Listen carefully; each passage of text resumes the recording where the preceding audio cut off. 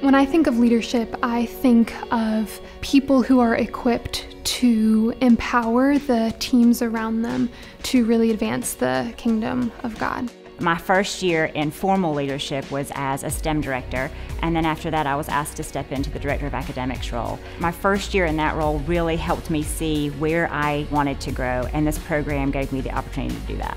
For me, when I had the opportunity to plug into a program that would help give me tools to better carry out the mission of our school, it was a, once I saw the description, I was like, I, I can't not do this at this point.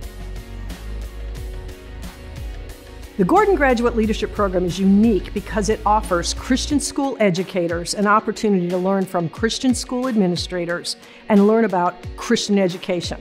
They bring the practical, real world aspects of what it means to apply what we learn. What can that look like when we go back to our campuses and what do we need to be prepared for in real life? One of the best parts about being in a cohort model is that I can call and text anyone in this cohort and ask them for their ideas, and that has been so wonderful.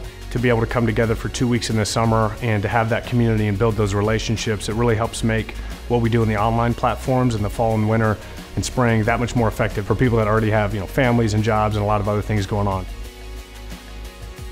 I knew I would have new career opportunities or career growth from the program, but I was surprised by the amount of personal growth I've been able to experience. I am now a more competent and confident leader than I was a couple years ago. The relationships that we've built have been just so awesome and ones that we know we'll have forever. You know, for somebody that's considering doing this program, I can tell them with 100% confidence, do it.